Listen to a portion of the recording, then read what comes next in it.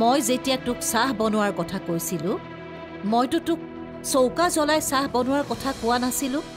অলপ যদি মনোযোগ দিলিহেঁতেন তই মোৰ ঘৰৰ ভিতৰত থকা পাকঘৰটো বিচাৰি পালিহেঁতেন। ইয়াত কি কৰি আছ তহঁতে? মোৰ পিছা কৰি আছ নেকি? মোক মানে শান্তিত থাকিব নিদিওঁ বুলি তহঁতে কিবা কচম চচম খাই আহিছ নেকি? য'তে যাওঁ তাতে আহি ওলাও যে হা?